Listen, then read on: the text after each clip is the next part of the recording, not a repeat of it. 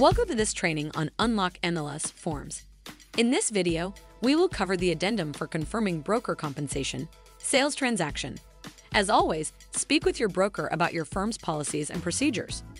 This form is exclusively available for use by Unlock MLS subscribers.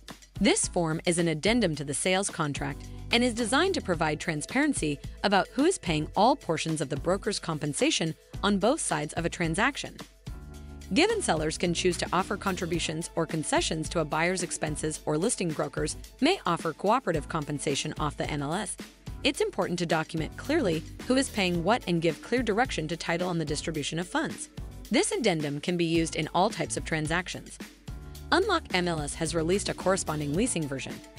It can be used with an initial offer, a counteroffer, a final offer, but is intended to accompany the final sales contract. Providing this to the title company can make the closing more efficient and clearer. Let's walk through the form. First, name the property. This simple step ensures that everyone is clear which property is being addressed and to which sales contract this addendum belongs. As the note says, this is designed to be an addendum that is separately signed from the contract. Let's read over this note. This addendum confirms who will pay each portion of the compensation to be paid to the brokers in the transaction contemplated in the contract to which it is attached. Seller, seller's broker, buyer, and buyer's broker should sign if paying or receiving compensation to confirm the amounts. Signing this addendum does not make the brokers parties to the attached contract. As you can see, this document summarizes the planned compensation and requires any party paying or receiving compensation to sign. This section highlights the variety of formats compensation agreed to in respective listing agreements and buyer's representation agreements can be paid. After the compensation breakdown, there are a couple of additional notes. It's important to note in which county the compensation will be paid. Including the county makes payment of the compensation agreed to enforceable under state law.